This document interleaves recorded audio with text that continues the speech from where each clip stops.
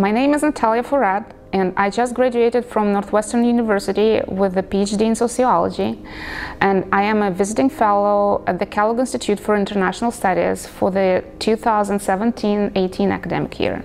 The question that I'm trying to answer in my research is how do authoritarian leaders build relationships with their societies in a way that helps to strengthen their power? So, so far, scholars have been studying bargains between authoritarian leaders and different groups in society. When an authoritarian leader has to either give those groups some resources in exchange for their loyalty or to repress them. What I'm saying in my research is that this bargaining logic only works when people distrust the state and conceptually detach the state from the idea of the public will. If, on the other hand, uh, people think of the state as the embodiment of their public will, then they don't think about politics in these bargaining terms. And an autocrat has to go with a different strategy.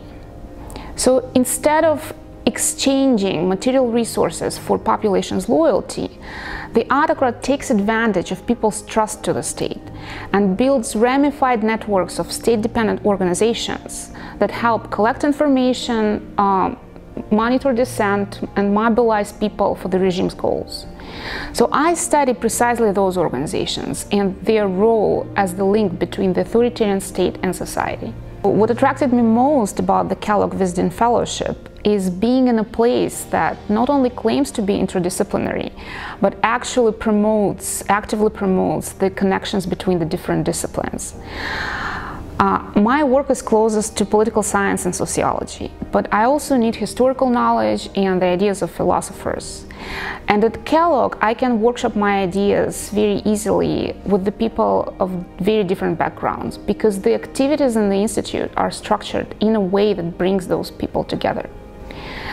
And I also hope that the Kellogg Visiting Fellowship will help me to advance my thinking about the practical implications of my work.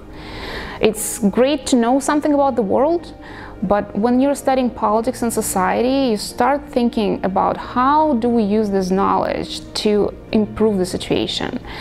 And I've seen some of Kellogg's faculty and fellows work in this direction, and I hope to contribute the insights of my research to that work.